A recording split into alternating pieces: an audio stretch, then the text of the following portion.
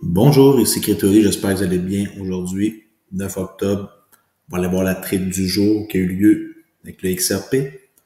Euh, on voit que ça a quand même pas mal explosé aujourd'hui. Hier, vous vous souvenez, je vous parlais de mon setup que vous devez visualiser.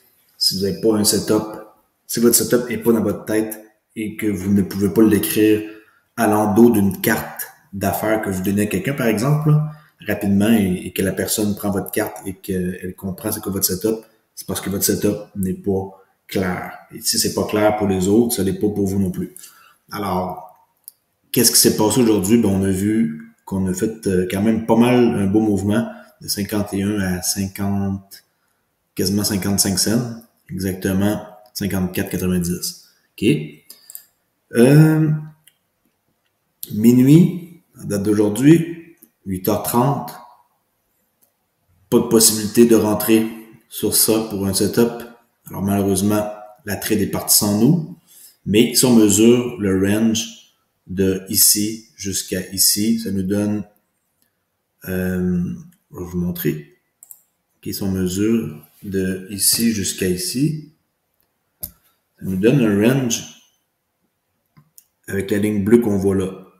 Mais étant donné qu'on est bullish et que je veux rentrer dans le XRP, ici, on a un double gap. Un gap ici, plus un autre. En réalité, il y en a un, deux et trois gaps. Alors, le total de ça divisé en deux, ça donne cette ligne blanche-là.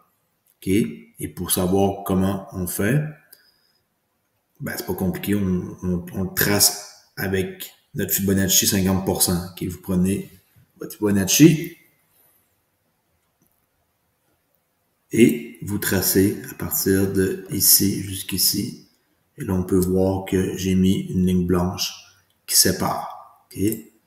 Alors, moi, j'attends que le prix redescende et il va redescendre, soyez-en sûrs, pour venir combler minimum 50% de ces trois gaps-là. Peut-être aussi plus bas, là, dans les 51, 94, là, mais minimum 52-35, là, mais qui viennent ici, c'est un signal d'achat pour moi et objectif de sortie ici sur le haut d'aujourd'hui à 54,90. OK, on va le marquer.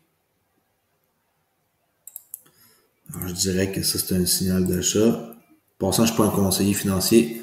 C'est simplement des suggestions, euh, des idées que je monte et vous euh, faites vos recherches par vous-même avant de mettre quoi que ce soit comme montant d'argent. Juste pour être sûr qu'on se comprend bien. Alors ça, si c'est le les coûts de dévoy, je le mettrai mon stop à peu près ici. Ben, à peu près exactement ici, là, à 51,48. On peut voir, si je clique ici, ça va donner le, centre, là, qui est alors 51,48. Entrée. Entrée à 52,28. Qui est à peu près, là, sur mon graphique, là. On pas niaiser pour euh, la précision là. Et la sortie, très très simple. On va venir revisiter ça. J'en suis sûr et certain. Je sais pas par exemple, ça va être maintenant, dans les prochaines minutes, prochaines heures, mais ou demain, pas demain. Mais c'est sûr et certain que ça, c'est un, endroit très intéressant pour acheter après avoir eu un pullback qui va remplir le liquidity void. Et euh, non, on sera pas en dessous de notre 8h30 du matin, mais 8h30 du matin, on peut l'enlever là. Mettons que c'est fini, euh, c'est fini comme c'est parti sans nous là. On commence une nouvelle journée d'ailleurs. Si on regarde, il reste juste quelques heures là, puis on commence une nouvelle journée là. C'est plus vraiment valide, puis minuit risque que d'être beaucoup plus haut là. Fait que même ça ici, on peut l'enlever, c'est plus valide. Mais par bonne habitude, on trace toujours nos lignes.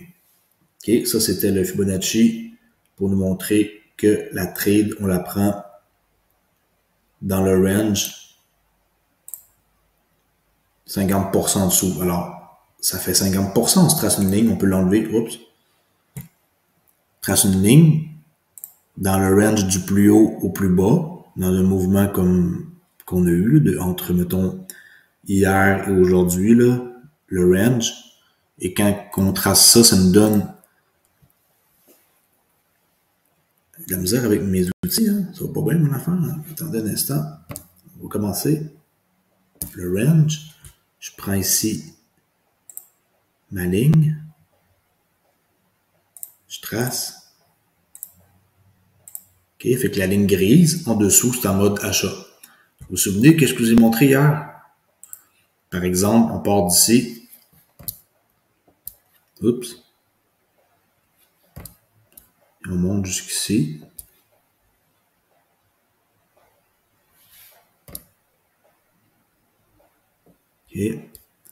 Et par la suite, on a juste besoin de comme tasser. C'est juste pour vous délimiter que présentement, par exemple, c'est le contraire. J'ai pris plutôt comme ça ici. Oups.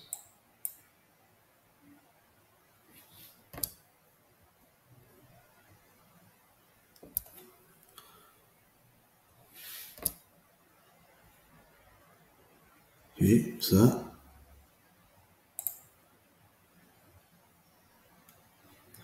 Bon, apparemment, ça, mon affaire, ça fonctionne pas. C'est pour ça que je veux faire. Je voulais, je voulais juste délimiter mon, euh, mon territoire. Alors, c'est pas compliqué. Je vais juste prendre un rectangle de même.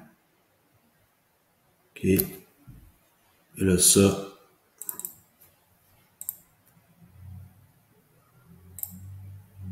rouge. Et par la suite, ça ici, vert. Pour vous démontrer que quand on est dans cette zone-là, on achète. N'importe où dans cette zone-là, on achète. N'importe où dans cette zone-là, on vend. Et là, nous, N'oubliez pas, la ligne qui est grise qui est là, c'est pas très clair, là. On ne voit pas bien à cause de mon background. On va essayer de travailler mieux, là. Un instant.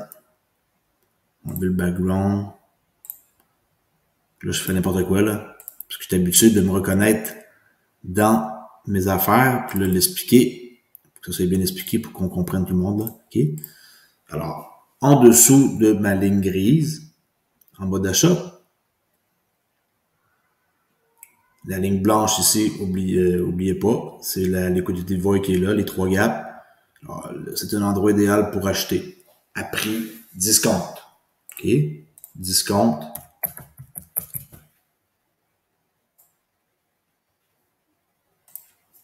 Ici, premium.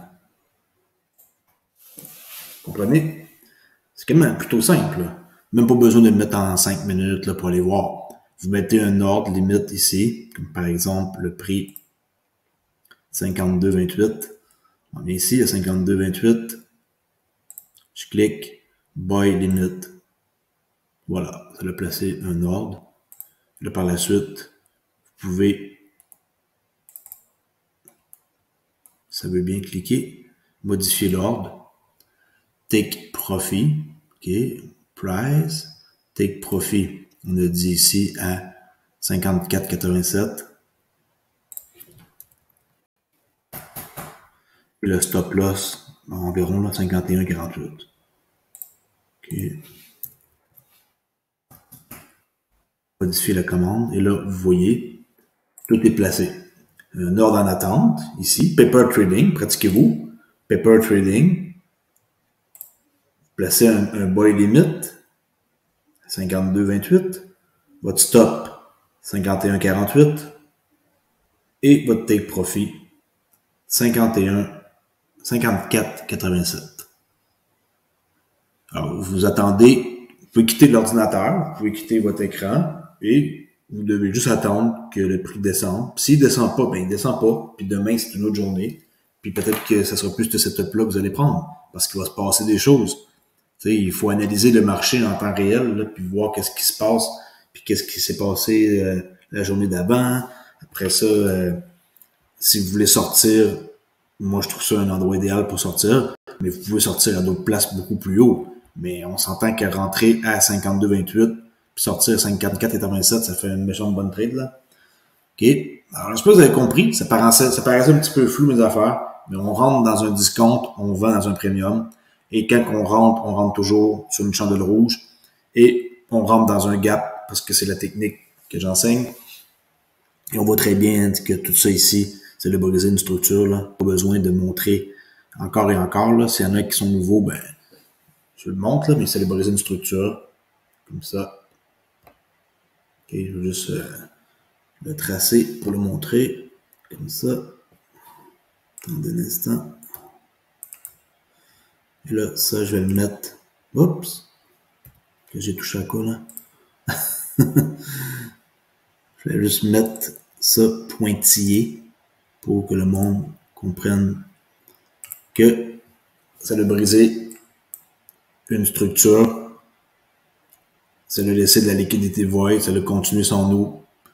Il y en a qui vont dire pourquoi tu rentres pas ici dans le gap? Non. On est en premium, pourquoi je rentrais à un prix cher? Je vais attendre que ça aille dans le discount. OK? Alors le setup, il est là. Vous pouvez l'essayer, pratiquez-vous. Allez en paper trading, essayez de faire une trade. Je vais le laisser comme ça en marche.